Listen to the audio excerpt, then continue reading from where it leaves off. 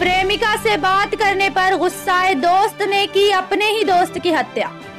Navi Mumbai police को महापेशील फाटा के पास road पर एक अज्ञात व्यक्ति का शव मिला, जिसके बाद तलोजा पुलिस स्टेशन में हत्या का मामला दर्ज कर पुलिस ने तहकीकात शुरू की तो पता चला कि तिलक नगर में गुमशुदगी की रिपोर्ट दर्ज कराई गई थी, जिसके बाद पुलिस की कड़ी पड़ताल के बाद पता चला कि आरोपी और मृतक एक ही बेकरी में काम करते थे, जहाँ दोनों की दोस्ती हुई थी। आरोपी ने मृतक को अपनी प्रेमिका से गाँव में बात कराई थी, जिसके बाद मृतक ने आरोपी के मोबाइल से लड़की का नंबर चोरी से ले लिया और लगातार आरोपी की प्रेमिका से बात करने लगा। जब इस बात की भनक आरोपी को लगी तो गुस्साए आरोपी ने मृतक को डोंबीवाली ले जाने के बहाने से रिक्शा में बिठाकर महापे की तरफ़ ले गया, जहाँ आरोपी ने मौका पाकर मृतक को मौत के घाट उतार दिया। पुलिस ने आरोपी को हिरासत में ले लिया है, आगे की कार्यवाही जारी है। जैसा कि जानकारी मिला है कि चंद घंटों के दरमियान एक हत्या के आरोपी को गिरफ़्तार कर लिया गया पकड़ा गया आरोपी कौन है? कहाँ का रहने वाला है? और मृतक कौन ये 26 तारीख को चार बजे शाम को रबाड़ एम पुलिस स्टेशन को इन्फॉर्मेशन मिली कि एक डेड बॉडी वहाँ पे शीड़ फाटा के रोड पे नीचे, रोड के नीचे पड़ी है।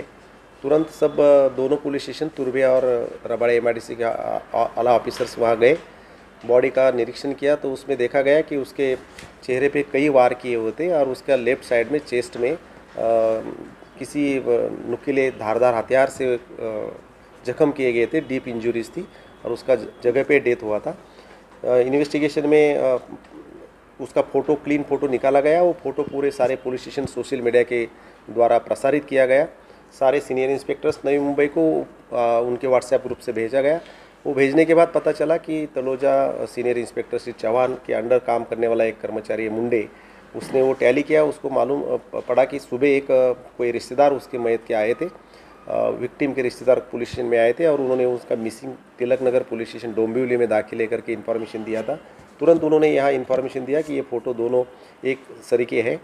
रबाड़े एम का टीम तुरंत डोंबिवली चला गया। पता करने के बाद पता चला कि ये जो मयत है, वो आमिरुल हसन करके उसका 19 उम्र है, जो बेकरी में काम करता है और ये मूल रहने वाला उत्तर प्रदेश का है। उसका एक दोस्त चेंबूर में रहता है, जिसका नाम है जुबेर हसन खान। ये दोनों दोस्त थे और एक बार ये एक्यूज़ ने ये विक्टिम के मोबाइल से अपनी गर्लफ्रेंड को उत्तर प्रदेश में फ़ोन किया था। उसके बाद ये फ़ोन विक्टिम का होने की वजह से वो लड़की और ये जो मयत है वो दोनों में अफेयर शुरू हो गया। इसका पता जब ये एक्यूज़ को चला तो वो गुस्से में आ गया। उसने पूरे प्लान के साथ उसको रिक्शा में बिठा के डोंबिवली छोड़ता होकर के जाते जाते रोड के किनारे पे जहाँ थोड़ा सा निर्मनुष्य जगह है, वहाँ ऑटो खड़ी करके उसके ऊपर वार किए। नीचे उतार के भी उसने उसको बहुत जगह पे इंजरी किया। जगह पे डेथ होने के होने के बाद उसको रोड के नीचे फेंक दिया गया। रातों रात उसी दिन रात को दोनों तीनों टीम इन्फॉर्म किए गए थे और चेंबूर से उसको यूपी भागते के पहले उसको गिरफ़्तार कर लिया है। ऑनरेबल कोर्ट के सामने उसको पेश किया गया। एक तारीख, एक फरवरी तक उसको पुलिस कस्टडी रिमांड में भेजा गया है। इसके अलावा इसका कुछ मोटिव है क्या? इसके ऊपर कुछ ऑफेंसेस दाखिल है क्या? इसका आगे का तपास N R I Rabale M I D police station कर रही है। जिस तत्पर ताज़ा तरीन खबरों से बने रहने के लिए हमारे channel Sach ki Awaaz TV news को सब्सक्राइब करें, लाइक करें और शेयर करना ना भूलें।